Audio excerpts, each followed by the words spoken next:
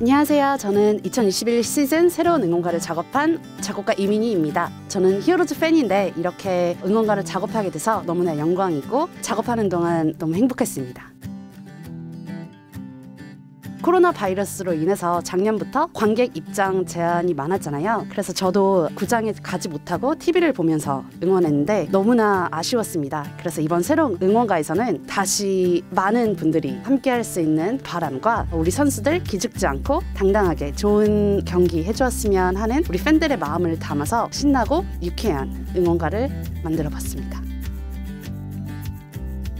우리 크라잉넛 분들도 히어로즈 팬인 거 알고 계셨나요? 어, 이번 크라잉넛 분들과 함께 이번 시즌 키움 히어로즈 승리하자 한 마음을 모아서 영혼을 담아서 너무 즐겁게 작업했습니다. 김정석 응원 단장님도 함께 코러스에 참여해 주셨는데 이렇게 지금 많은 분들이 키움 히어로즈를 응원하고 있으니 이번 시즌 좋은 성적 거두리라 믿습니다.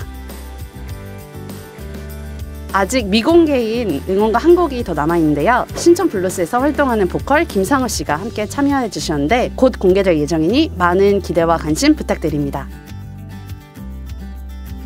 지금 많은 분들이 키움 히어로즈 응원하고 있습니다. 이번 시즌 힘내셔서 좋은 경기 보여주세요. 키움 히어로즈 화이팅!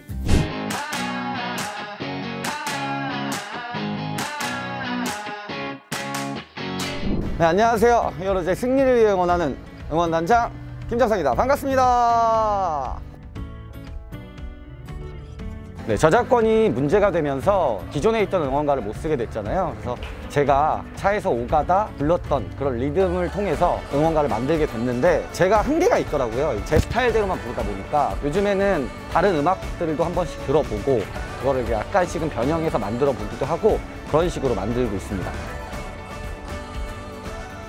프레이타스 선수는 중장거리형 타자라고 생각을 해서 웅장한 느낌의 리듬을 주는 게 맞다고 생각을 해가지고 그렇게 응원가를 만들었고요. 그리고 이용규 선수 같은 경우는 저희 팀이 원래는 아니었잖아요. 그래서 제가 이용규 선수를 딱 떠올렸을 때 생각나는 응원가가 샤방샤방이었어요. 옛날에 이제 이용규 선수의 등장송이었는데 그런 느낌의 응원가를 주면은 좋겠다라고 생각을 해서 이용규 선수는 그런 식으로 만들었고요. 그리고 전병호 선수도 웅장한 느낌의 응원가로 만들었고요. 그리고 박준태 선수 선수나 변상권 선수 같은 경우는 빠르고 외야수다 보니까 경쾌한 그런 느낌의 응원가로 만들게 되었습니다.